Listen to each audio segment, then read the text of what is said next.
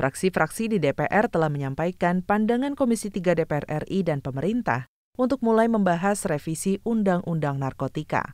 Anggota Komisi 3 DPR RI mengusulkan penguatan Badan Narkotika Nasional sebagai bagian upaya memberantas peredaran dan penyalahgunaan narkoba di Indonesia.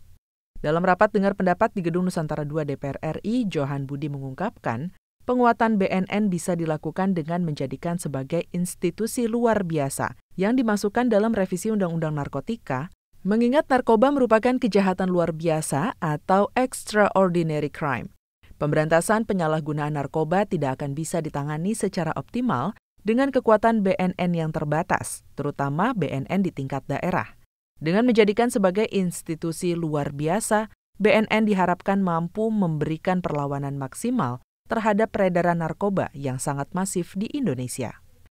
BNN ini dibuat extraordinary juga.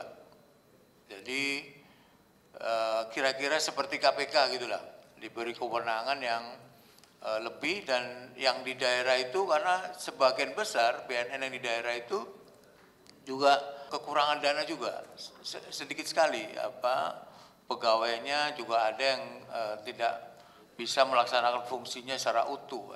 Johan Budi juga menekankan setiap daerah atau provinsi seharusnya memiliki lembaga rehabilitasi bagi pengguna narkoba. Sayangnya, masih banyak daerah belum memiliki tempat rehabilitasi narkoba. Pasalnya, rehabilitasi merupakan salah satu cara tepat untuk menyelamatkan pengguna narkotika dari ketergantungan. Panji TVR Parlemen melaporkan.